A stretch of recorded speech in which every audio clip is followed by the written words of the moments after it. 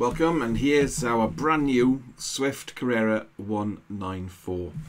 This vehicle comes in at 6.26 meters long, uh, 2.72 meters high, and is part of the Swift Carrera range, which is the top of the range model. Uh, you can see here it's a diesel 2.2. You can see here the diesel flap there, and uh, AdBlue as well for this engine to uh, lower emissions. And it comes in the Lanzarote grey, which is a fantastic colour. Uh, going into the interior here, it's kind of got this kind of leather upholstery, and then underneath the seats, a place to store your tools. You can see there. And uh, we got the bonnet flap release there at the side, which uh, triggers the bonnet. Generally speaking, it's a beautiful engine to drive.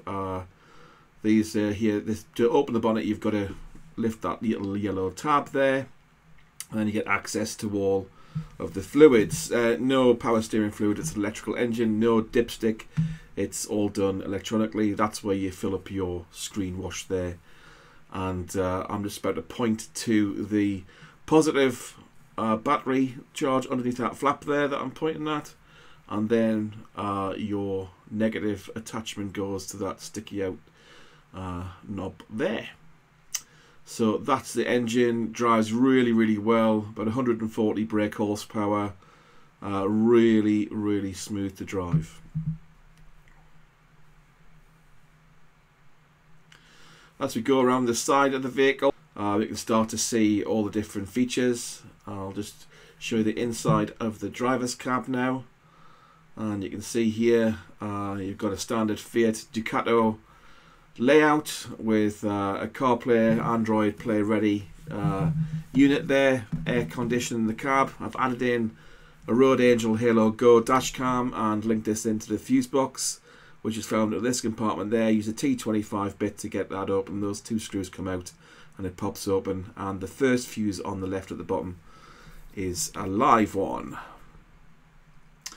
And then you can see here you've got the blinds here which actually bow out. So if you do have something like a dash cam it won't get restricted. Uh, you'll still be able to open up the blind as usual. And all the windows on the interior have a blind like I'm demonstrating now.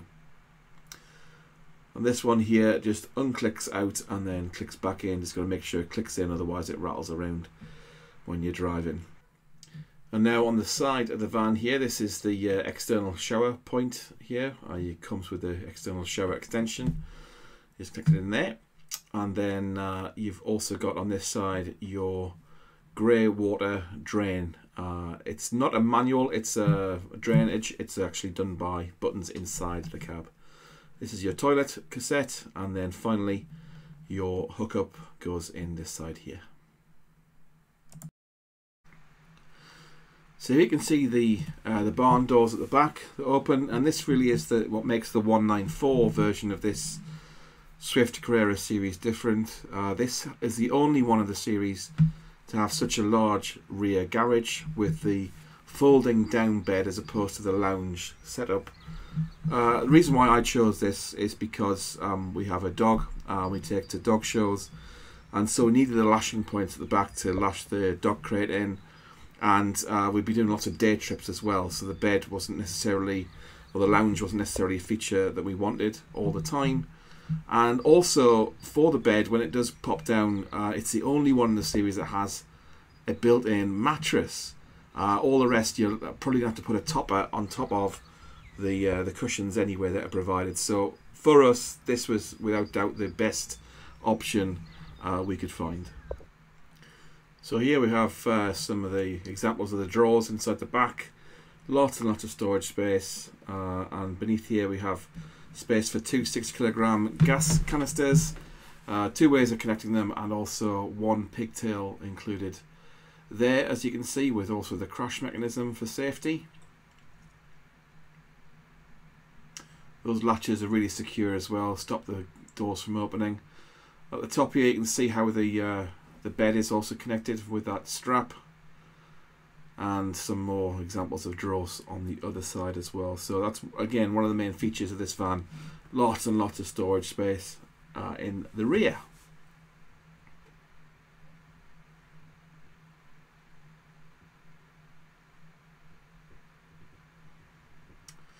On the floor here you can see the four lashing points which drill directly down at the chassis so uh, you can put bikes or whatever you want in there as well.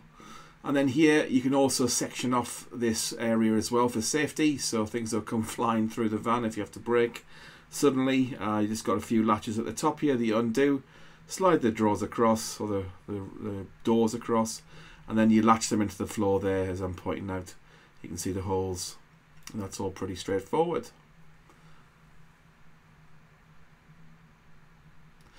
Then we've got some more uh, cupboard space, your, your heater and gas isolation is there. Water heater. Now on the other side, you've also got your control unit uh, to switch your water heater on and off as well. Another fuse box in there too. And then up above, we also have uh, a cupboard with the solar panel unit in there too. So you can see that's currently on green and providing power to the leisure battery. These doors are really nicely hinged and really fantastic uh, um, hydraulic mechanism on them to uh, make sure they, they feel like really great quality.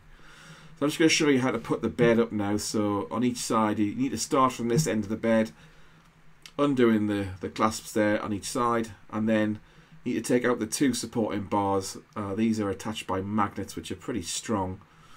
So you're going to kind of watch your fingers when you're putting them back in they both come out and then push into magnets on either end so they'll stay firm. And do the same with this one on this side. I think I've actually put this one in incorrectly and the, the wrong way up. Those uh, those raised bar bits should be facing upwards to support the actual bed.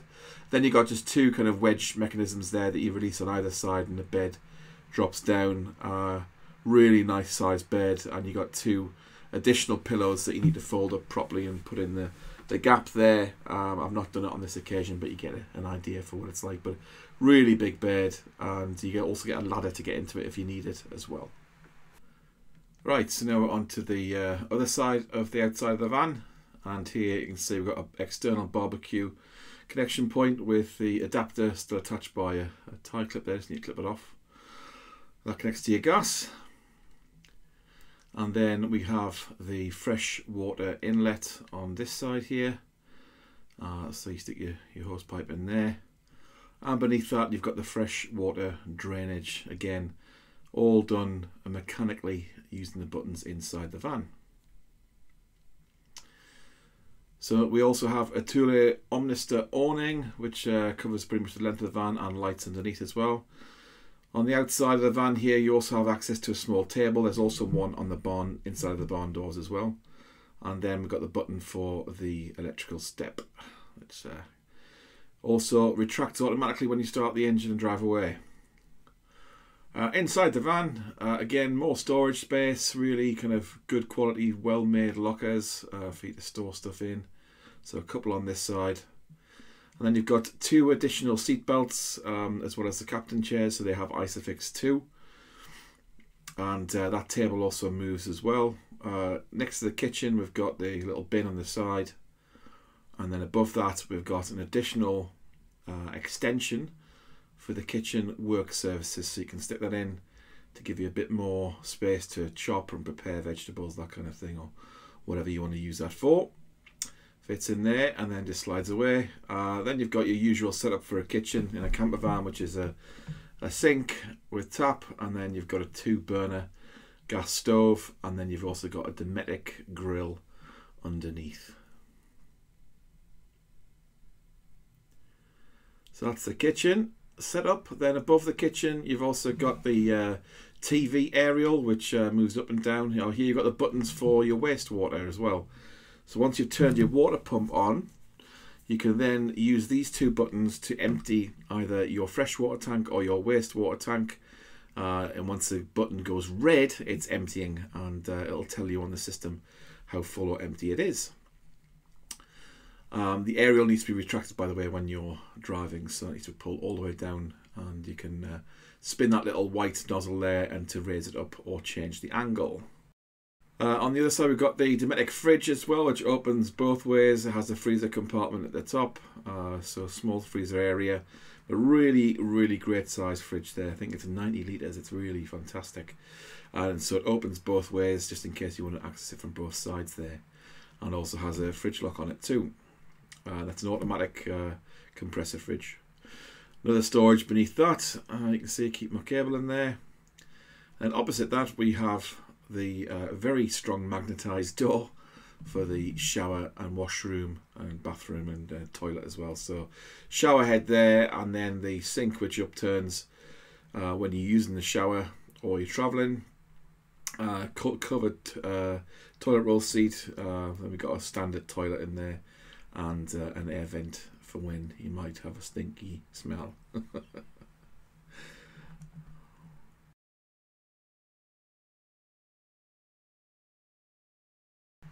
so inside we've got the uh, operating system here. This is new for the 2024 model, so slightly different setup with a touchscreen. Uh, from this touchscreen you can operate all the interior functions uh, the water, the heating, uh, everything like that. So you can see here, really easy to use to navigate, uh, gives the indication of battery, power, water, lighting, and environment. Also has an alarm function as well, so if your freshwater tank, for example, gets below a certain amount, it will sound an alarm.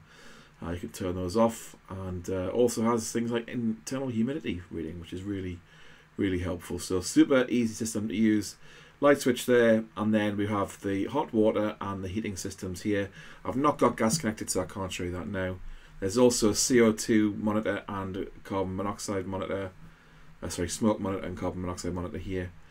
Uh, the two captain's chairs there that you can't see they swivel around fully as well and above just to show you that the, all the lights including the sunlight has its own set of blinds uh, to use in terms of the, um, the setup on the dashboard here, we've got um, uh, a touchscreen system which links to your phone by Bluetooth, so it plays Apple CarPlay, Android Autoplay as well. We've got different modes for driving, Eco, Power and Normal. 9-speed automatic gearbox, uh, outstanding, really fantastic, really quiet as well. You wouldn't know you're driving a diesel. You've got all your fog light switches to the right there and an electronic handbrake to use as well as well as the uh, mirror switches and uh, automatic windows. On the steering wheel, to the left you've got your control panel and to the right your uh, speed cruise control. That's it. Hope you enjoyed the tour and I'll post another video soon.